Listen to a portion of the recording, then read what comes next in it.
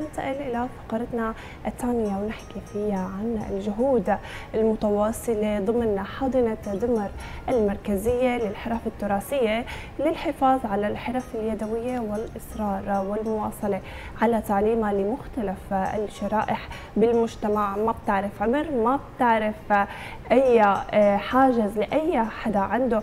إبداع ينضم لهي الحاضنة الحرفية وأكيد رح نحكي عن الدورات الموجهة لمختلف شرائح اليوم وعن الدورات وشو هي أبرز الحرف يلي انضمت للحاضنة وشو رح يكون جديد الحاضنة لعام 2024 رح نحكي كل هي التفاصيل اليوم مع شيخ الكار عدنان تنبكجي أمين سر هيئة مدربي حاضنة دمر المركزية للفنون الحرفية. صباح الخير.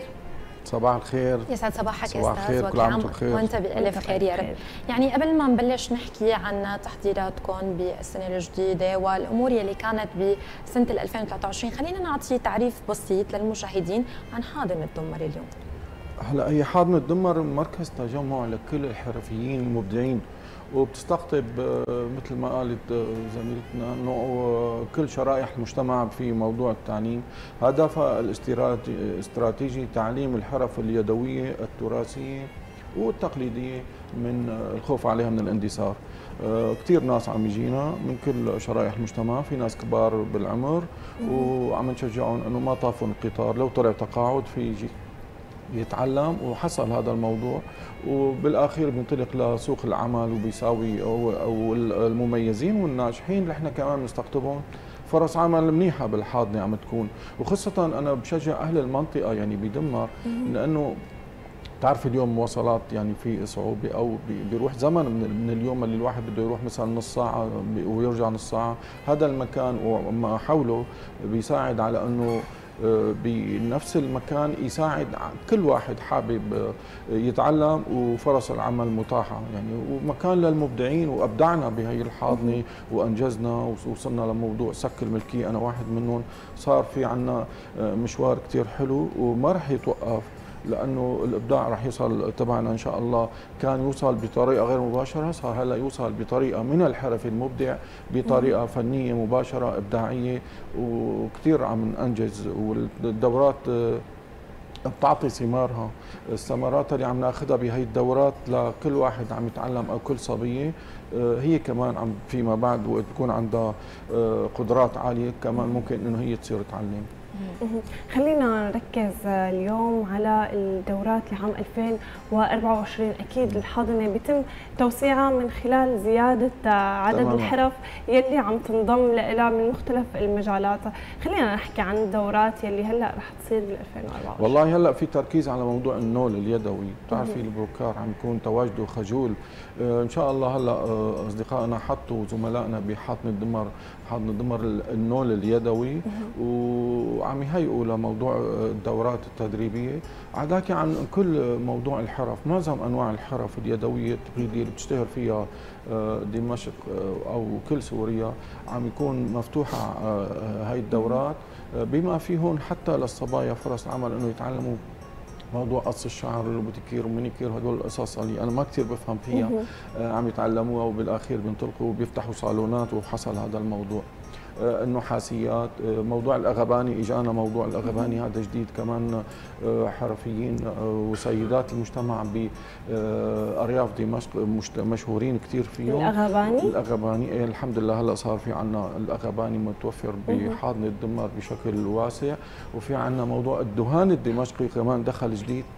الدهان تغير الرسمات النباتية وتوثق على إنه اسمها هي ما لها اسمها الموضوع الحرفي الدهان العجمي صار اسمه الدهان الدمشقي وعلي إقبال. موضوع توسع النحاس النحاس له كثير محاور صار في توسعة كبيرة بالنحاس بما يخص موضوع سكب النحاس تشكيل المعادن والطرق على النحاس تخريق النحاس الشرقي كمان. كله هذا متوفر موجود استخراج الزيوت العطرية كمان موجودة وتنزيل الصدف على الخشب في عندنا موضوع النجاره الحقيقة قصص كثيره بما يخص الحرف موجودة وكله عليهم دورة. هذا كله جديد هلأ لعام 2024 ولا كان سابقا؟ كان سابقا بس عندنا جديد الأغباني. النول هلأ بصدد إنه إن شاء الله بيتفعل موضوع البروكار وال و... يعني ما كان هذا بالأول هلأ صار موجود. تمام يمكن خلال الفترة الماضية كان عندكم مشاركات عديدة إن كان نعم. مع جامعة دمشق أو اتحاد الكتاب العرب أستاذ للتعريف يمكن عن أهمية الحرف التراثية نعم. والحفاظ عليها اليوم شو الجديد بهذا المجال؟ هلا موضوع آه، آه، حكيتي آه، يعني موضوع كثير مهم بموضوع التنسيق مع جامعة دمشق وكلية الآداب بالتحديد إنه صار عملنا مهرجان رائع وصار دوري الحمد لله. يعني نحن صار عندنا هذا المهرجان دوري إنه كل سنة بصير والأغلبية عم يكونوا شاركين المشاركين عم يكونوا من حاضنة الدمر يعني فينا نقول الاغلبيه عم يكونوا وعم يفعلوا موضوع الحرف وننشر الوعي الثقافي والحرفي عن طبقة مهمة كثير بالمجتمع قدام الصبايا والدكاترة والطلاب الجامعيين. يعني اليوم عم نحببهم بهذا التراث العريق تراث المجد. نحن في ناس كثير ما عندهم معلومات كافية عنه عم نشرح لهم من خلال هي المعارض اللي عم تصير بالكلية.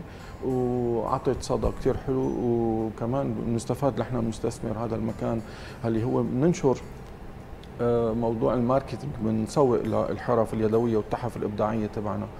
آه، الجديد كمان بهي الحاضنة آه، حكينا قبل هلأ موضوع أصدقائنا وزملائنا الحرفيين بإتكية سليمانية. صار مكانهم كمان. هذا المكان استراتيجي اهتمامات كبيرة من وزارة السياحة عم يشتغلوا صراحة يعني إذا بتروحوا بالليل والنهار عم يهيئوا المكان. لهدول الحرفيين المبدعين زملائنا منشان نزيد الإبداع بإبداع ونحن بنكبر فيهم وهن بيكبروا فينا وبنصير عناصر فعالة بالمجتمع. مو بس لسوريا وإنما لكثير من الدول لأنه بتعرفوا سوريا مشهورة بارثها الحضاري بالتحف أو الحرف اليدوية التقليدية والتراثية. اليوم عدنان أنت شيخ الكار بالنسبة للفنون النحاسية والتشكيلية. نعم. شو هي مخططاتك بالنسبة لهذا الاتجاه؟ حصرا بعام 2024 في شيء جديد هلا؟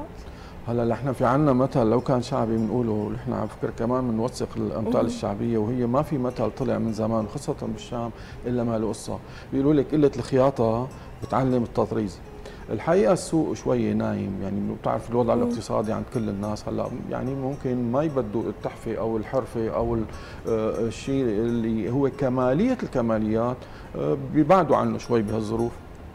نحن بهذا الوضع يعني آه، بدنا نتجه للإبداع أقوى ما أنه نكون مشغولين بقطعة معينة أو بتحفة معينة. همد السوق بس التجارة كلها على طول كل شيء بيموت وما بيحيا إلا التجارة بتموت وبدها تحيا يعني يعني في استمرارية إن شاء الله بهذا الوقت اللي هو هادي في relax على موضوع التسويق والبيع المنتجات الحرفية نحن بنتجه على أنه نخلق الإبداع. المبدع اللي هو أساسا ما في مبدع بالعالم إلا ما بيكون أساسه حرفي بده يكون محترف بده يكون بادي أول شيء آه، بخطوات آه، لأنه لا يوصل لهذا الإبداع. المبدع يعني بتعرفي هذا الحرفي بيختلف شوي عن آه، الصناعي. الصناعي بيخاطب الماكينة بيعطيها أوامر. وبيخاطب الآلة وبعدين بيطلع المنتج وربما يحدث عطل آه، بيعالجوا بطريقة فنية ديناميكية إلى آخره. بينما الحرفي اليوم بيخاطب آه، الروح بيحكي مع القطعة اللي قدامه آه، وبيغازلها وبيقول لك كيف بدك تصيري بكرة؟ اليوم وصلنا رح نساوي هذا القسم بكرة رح نساوي هالقسم بضل عم يخاطبها وبيحكيها لأنه هي فعلا روح. وعم يخاطب القطعة إنه تصير بأجمل حالاتها وبوقفتها إن كانت من الخشب أو من الموزاييك أو من الصدف أو من النحاس إلى آخره. معناتها هون نحن الحرفيين تبعنا آه، مميزين كثير عن دول العالم وعندهم إبداع ووصلوا للنجومية العالمية بس ما راح يتوقفوا. أنا واحد من الناس ما بوقف لأنه الأمل على طول موجود. وحرفنا مطلوبة وإبداعاتنا الحمد لله موجودة لو كان في ضعف أسوأ بس لابد ما أنه تنشط التجارة وحرفنا عليها اقبال بكل دول العالم. تمام يمكن بالسنة الماضية يمكن واجهتوا صعوبات أو تحديات اليوم بعملكم ضمن الحاضنة، هل قادرين نحن بهي السنة نتجنب هي المشاكل؟ في خطة عمل أو آلية معينة رح تتبعوها؟ والله أنا بنصح يمكن تتفاجئوا بهن هلأ إنه شو هي المواجهات اللي إحنا بنواجهها آه، لابد ما إنه يكون عندنا شحبه بعض المواد الأولية مثل ما حالنا حال أي دولة ما بالك بسوريا بالعقوبات اللي صايرة عليها كمان الجائرة. آه، نحن آه، التهيئة اللي بدها تكون أهم من المواد الأولية راحة البال. الحرف اليوم لازم يكون حتى يبدع لأنه عم يشتغل بالفن بده يكون مرتاح البال وظروف ما عم تخليه يكون مرتاح البال. أنا بنصح كل واحد حرفي فنان انه يتجه على بيته انه من البدايه بده يطلع من بيته مبسوط. ولابد ما انه اسرته تساعده على انه آه، تنشر السعاده بهذا الفنان اللي هو رب البيت وهو اللي عم الوضع الاقتصادي عم يكون بإيده. لذلك بننشر السعادة وإن شاء الله كل عام وأنتم بخير. وكل حرفي عم يسمعنا بسوريا وغير سوريا يكون يزرع التفاؤل والمحبة. وزوجاتهم يعني كمان هن يزرعوا لهم المحبة والسعادة. حتى آه، أهل البيت وأسرة البيت لحتى تطلع هي التحفة الفنية الابداعيه غريبة وبيستفادوا فيما بعد بالوضع الاقتصادي لأنه إذا قطعة حلوة وفنية وفيها إبداع أكيد راح يدخل الدخل الاقتصادي والكل بيستفاد ويستثمر هذا الإنجاز يعني. أكيد أنا عندي فضول أعرف شو آخر تطورات أو شو صار بحق الملكية بالنسبة للعبة الشطرنج اللي تم اختراعها والله لعبة الشطرنج حكينا عنها كثير وما بدي حدا يقول في عنا غرور إنه أنا أحكي عنها لا هي بتستاهل إنه نحكي عنها صحيح. حلقات مطولة ووصلت لكثير من دول العالم حققت اللي أنا بدي إياه وربما رب العالمين رزقني أكثر ما استاهل. آه، هي الرقعة طبعا حكينا إنه ما لا تراثنا وإنما أنا زرعت آه، فيها كل شيء من الألف إلى الياء بتراثنا السوري. وكمان بنركز على موضوع الرموز اللي حطيناها. الرموز اللي حطيتها أنا بهالشطرنج ما لها موجودة عند حدا بالعالم ابدا ابدا ابدا. الحكي هذا موثق. سك الملكيه أخذته أنا. أنا هذا اللي بدي اعرفه سك الملكيه أخذته ولا لا؟ اخذت سك الملكيه والحمد لله سك الملكيه كثير بفيد. آه، صار عندنا اثنين سك ملكية لزميلنا محمد الكوجوك وأنا بموضوع الشطرنج هو بموضوع الكرة اللي هي من الخشب. وإن شاء الله آه، يعني بنزرع التفاؤل بكل واحد إن شاء الله. آه، عم يحضر حاله لياخذ سك ملكية ثلاثة وأربعة وإلى آخره وبصير عندنا ملكيات بهي الحرف اللي سابقا وبالاحداث كثير من التحف الفنية الإبداعية انسرقت وراح راح ما لها ملكية بينما هلأ صار في عندنا توثيق وعندنا ملكية. اولا من التقليد وثاني شيء من إنه ما تنسرق. والشغلة الثالثه اللي هو بتصير آه، في قوة للبيع. يعني اليوم إحنا عندنا عصر الماركتينج والتكنولوجيا إنه في فن آه، مزدهر وكثير حلو لموضوع بيع القطعة بطريقة فنية رائعة. في عنا شرح للقطعة كيف عم تكون تفاصيلها وفي عنا مين صاحبها خطوات العمل صور بكل جوانبها وقديش فيها مثلا إذا كان فيها ذهب بنذكر قديش فيها مثلا كم جرام ذهب وهي مصنوعة من وين وشو هي الرموز وبتخضع لمعايير كثير كثير صعبة لحتى آه، بالآخير بيحصل على صك الملكية وهذا الشيء رائع بسوريا ما حصل قبل هلأ الحمد لله. الأمور في تطور وأنا بطلب إن شاء الله من شاشتكم الكريمة إنه هذا الحرفي مو بس الاتحاد العام للحرفيين ووزاره الصناعة هي دعمته كمان نحن معنيين بكل شيء حتى بوزاره التعليم العالي وزارة التربية وزارة السياحة ما عم يقصروا وزارة الاقتصاد ما عم يقصروا لكن نطلب المزيد حتى نعطي المزيد. واليوم نحن بمشروعاتنا الصغيرة ومتناهية الصغر هي اللي بدها تنهض البلد بصراحة. مشروعات صغيرة متناهيه الصغر هي اللي بتنهض البلد وهي هي اللي بتشكل يعني جيش اقتصادي قوي بيدعموا الوضع الاقتصادي اللي نحن عم نعيشه. طيب خلينا نرجع نحكي عن الدوريات يلي عم تقام اليوم ضمن الحاضنة. ويمكن كل شخص حابب يتعلم حرفة معينة حرفه يدويه هو يمكن بحاجة لفترة كثير طويلة. خلينا نحكي قد عم تكون مدة الدوريات شو الأساسيات اللي لازم يتعلموها وشو أكثر يمكن العناوين والأفكار يلي عم يركزوا عليها اليوم الشباب؟ هلا المعايير نحن ما في عندنا شرط إنه يعني فوق ال 15 سنة بيكون أو 18 سنة وما فوق. بيقدر يجي يتعلم. صبية شاب كبير صغير حتى ذوي الاحتياجات الخاصة. نحن عملنا لهم دورات ولقينا عندهم أفكار مجدية وانطلقوا شوي لسوق العمل ولو كانوا بأعمال بسيطة عم يسوقوها. آه، مثل ما قلنا اللي بيتعلم آه، متوسط عمر الدورة البدائية عم تكون ثلاثة شهور. لكن ما بتكون دورة أولى بدها الثانية والثالثة إلى آخره. المبدع والشاطر واللي عنده إلمام وعنده رغبة يتجه وين حابب اتجاهه. هل يا ترى بالنحاس؟ هل يا ترى بالأغباني؟ هل يا ترى بالنول اليدوي بالخياطة؟ بالخشب؟ بن... إلى آخره بيتجه وين هو بده. يعني وإذا ما بيعرف هو كيف بده يتجه أو ما عنده هذيك المعلومات نحن بنوجهه من خلال جلسة معه يعني ولتكن ساعة إنه نفهم منه شو اللي حابه وبنوجهه نحن بإرشادات عم تكون غالبا صحيحة. أه لكن اللي إحنا عم نعاني اليوم اولا موضوع المواصلات السيد وزير السياحة كمان بوجه له التحية مرارا وتكرارا على وعدنا إنه إن شاء الله بتكون مواصلات قائمة وعن قريب بموضوع الحاضنة. انتهينا إن شاء الله بالمواصلات وحلمنا بيتحقق. الكهرباء البلد حال البلد حالنا حال غيرنا عم نعاني بس كلنا. إن شاء الله عم ساوينا طاقة كمان بدعم من وزارة الاقتصاد. وهلأ إن شاء الله في مشروع عم نقول إن شاء الله السياحة آه، يا رب وزارة السياحة بتدعمنا والاتحاد ما عم يقصر بالإمكانيات المتاحة. آه، موضوع آه، اليوم الشاب بده يجي يتعلم. يعني نحن فينا نعطيه عذر وبنفس الوقت بدنا جهة داعمة إنه هذا الشاب إحنا عم نساهم. عملنا دورات مجانية كثير لكن اليوم الحرفي ما عاد يقدر يعطي دورات مجانية أو شيخ الكار. يعني إحنا في تعليمات إنه جزء من المبلغ اللي بده يكون للدورة ولتكن فرضا دورة ب 500000 نحن عم نساويها ب 200000 هذا مثال. طيب هذا الشاب اللي اليوم بده بيكون عم يشتغل ليعين أهله أو ليعين نفسه. بده يوقف عن العمل ليجي يتعلم. بدل ما يجي دخل صار اليوم بده يدفع. صحيح. إذا في جهة معينة تدعم ولو بالسنة مرة لشباب عنده الكفاءات العالية. طيب دينوهم اياهم دين.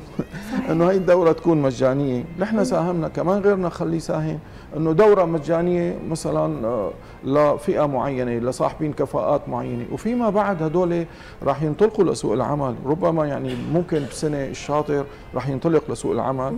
وحكيت أنا إنه فرص العمل متاحة. حنا حتى عندنا بالحاضنة اليوم نحن بحاجة كثير للحرفيين الماهرين المبدعين وبالنهاية هو بيصير عنده دخل جيد جدا. اليوم الحرفي ماله فقير. الحرفي بإبداعه بأنامله الذهبية عم يصير غني هو وكمان آه، أهل بيته. يعني من زمان كانوا يتجهوا اليوم الصبايا. إذا وحده من خطيبة مثلا آه، نحن بنشجع على التعليم أكيد وما نبعد عنه ما فينا نستغني عن التعليم. لكن اليوم بيقولوا كمان مثل اول أهالينا كانوا يشجعونا على الصناعة والحرفة ونزيل نتعلم شو بيشتغل؟ والله مع احترامي لكل الموظفين. بيقولوا موظف طيب موظف اليوم ما عنده قدره هو يعيش. كيف بده يعيش ويفتح بيت؟ صحيح. بينما إذا واحد عنده منشأة حرفية كمان من هذا الباب يتجه هذا الحرفي اليوم. بالإضافة لعلمه يتجه يتعلم حرفة يدوية فنية إبداعية. وفيما بعد راح يدخل له دخل اقتصادي منيح. يعني اليوم حضرتك عدنان حكيت أعطيت كثير تفاؤل لكل الشباب إن كانوا شباب أو صبايا نعم. ومن مختلف الأعمار ومن مختلف شرائح المجتمع بإنهم آه، يعملوا دورات. ودائما للتراث فينا نرجع نحن للتراث ونطور منه مثل ما عملت حضرتك أنت بلعبة الشطرنج. ذكرت أنت أنا موقفة عند كلمتك إنه ممكن صارت ثلاثة وممكن تصير أربعة. من خلال نظرتك أنت للأمور. أنا سويتها ثلاثة ونفس الرقعة هي م. شكل مسدس أبعاده 80 سم عامل رقعة مثل رقعة من ثلاث أشخاص. إذا ما حب يلعب ثلاث أشخاص تنقام وتنحط بلاعبين. لأنه قوانين جديدة بالاتحاد الدولي للشطرنج ما نزلت عن ثلاث أشخاص. بس ممكن هي تصير أربعة؟ وممكن تصير أربعة. أربعة أسهل ما أنه تكون ثلاثة. ثلاثة أصعب شيء. معناتها هي شغلة جديدة. إذا شي حد إيه. هيك من الشباب بيتكرم وبيجي بيطور لا فينا نساويها أربعة أكيد. الأربعة أسهل. أكيد. يعني الخطط اللي تبع بدها تكون أو التقسيمات الهندسية أسهل ما إنه تكون ثلاثة. ثلاثة أصعب شيء اليوم عفوا.